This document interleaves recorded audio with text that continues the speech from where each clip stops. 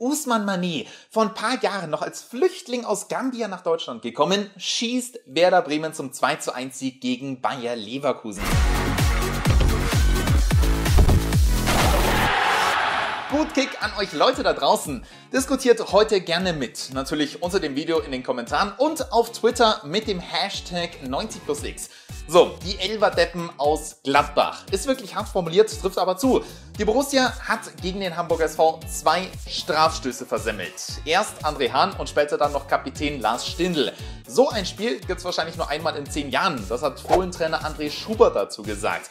Und ich habe es ehrlich gesagt gefeiert. Am Ende also ein 0 zu 0 Unentschieden. Und der HSV darf jetzt jubeln. Man ist nämlich nichts mehr auf dem letzten Tabellenplatz.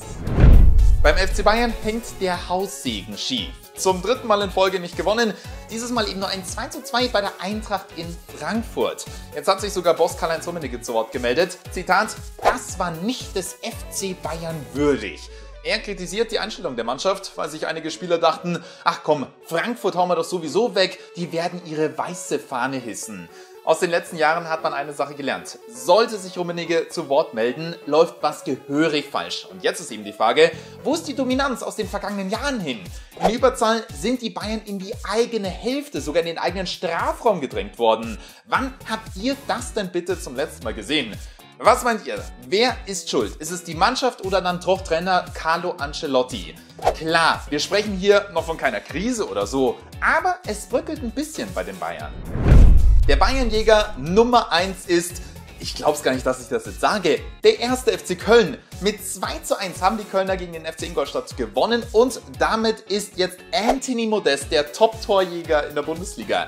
Die ganze Stadt bangt mit und vor allem um ihn. Am Dienstag verletzte er sich nämlich am Sprunggelenk und wurde vom Platz getragen. Die Fans hofften, bitte hat er sich nicht zu schwer verletzt. Und die Antwort gab es jetzt am Samstag. Zwei Tore von Modest Früher ein Chancentod, jetzt ein absoluter Torjäger. Wow, was für ein Märchen. Usman Mani, vor ein paar Jahren noch als Flüchtling aus Gambia nach Deutschland gekommen, schießt Werder Bremen zum 2 zu 1 Sieg gegen Bayer Leverkusen. Ihr müsst euch das mal auf der Zunge zergehen lassen. Der Junge ist 19 Jahre alt, eine Entdeckung von Trainer Alexander Nuri. Und nicht nur im Sturm ist Mané gut, nein, er macht die langen Wege, um auch in der Defensive zu helfen. Er kämpft für sein Team und das siehst du in jeder einzelnen Sekunde.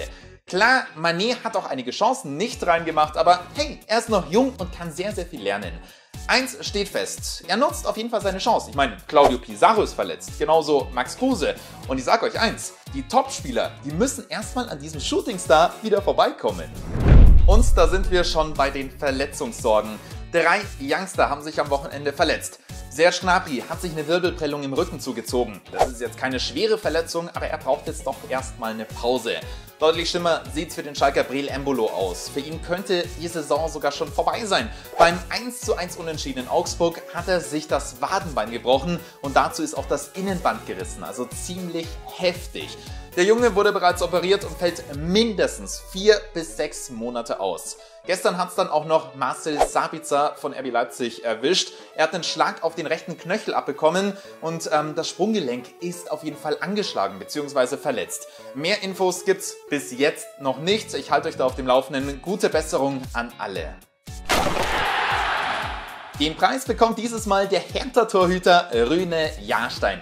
Der Norweger hat im Topspiel bei Borussia Dortmund einen Elfmeter gehalten, wobei das war noch gar nicht mal seine größte Parade.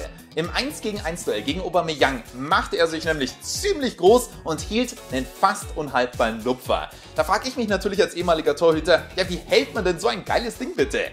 Und die Antwort ist ziemlich simpel, und zwar Vorbereitung. Im Interview hat er nämlich gesagt, ich habe mir das vorher angeschaut. In solchen Situationen will Aubameyang den Ball immer chippen. Ja, smart und am Ende hat Jahrstein der Hertha einen Punkt gerettet. Der Endstand 1 zu 1. Eine neue Rubrik heute, die Social Media Hits bzw. der Hit des Wochenendes.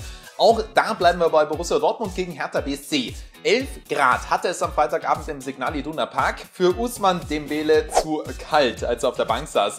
Ich freue mich auf das Bild, wenn es dann irgendwann minus 11 Grad haben wird.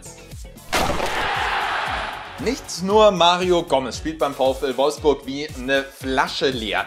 Bis jetzt hat er ja noch kein einziges Tor geschossen und das sind keine Ahnung wie viele Minuten. Ähnlich schlimm sieht's bei Julian Draxler aus. Kein Tor, keine Vorlage, eine absolute Nullnummer von ihm. Vor der Saison gab es ja diesen riesengroßen Stress, weil er unbedingt weg wollte. Mit so einer Leistung empfiehlst du dich aber nicht bei Top-Teams, die eine Ausstiegsklausel von wahrscheinlich 110 Millionen Euro zahlen müssten. Dieses Mal hat der VfL Wolfsburg also mit 0 zu 1 zu Hause gegen RB Leipzig verloren.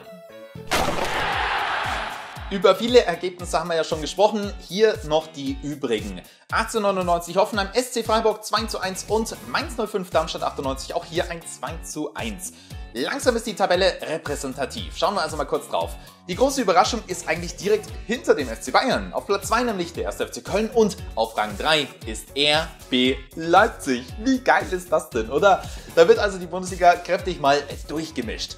Ganz hinten sind dann noch Schalke, der Hamburger SV und der FC Ingolstadt. Also bitte Leute, wer hätte das denn bitte vor der Saison so getippt? So, jetzt also nochmal von meiner Seite ein riesen Dank an euch. Die 2000 Abos sind geknackt. Wir sind im letzten Jahr einen unglaublichen Weg gegangen und mir ist jetzt wichtig zu wissen, was ihr wollt. Was soll denn in Zukunft verstärkt auf diesem Kanal erscheinen? Mehr News, Bundesliga-Highlights, eine FIFA 17 Spieltag-Vorschau, Bundesliga-Live-Reactions und und und. Schreibt doch gerne mal eure Wünsche in die Kommentare, dann richte ich eine Umfrage, würde ich jetzt einfach mal sagen, mit einigen Ideen von euch ein und ihr könnt dann abstimmen. Mir ist wichtig, ihr sollt Spaß auf dem Kanal haben und ich will Spaß auf dem Kanal haben. Von daher daher würde ich sagen, bleibt am Ball, ja, indem ihr auch den Kanal abonniert. Ja, anders funktioniert das ja gar nicht. Wir sehen uns am Mittwoch wieder. Dann gibt es eine ganz besondere Trikot-Review. Bis dahin wünsche ich euch gut Kick und ciao. Hui. Bundesliga.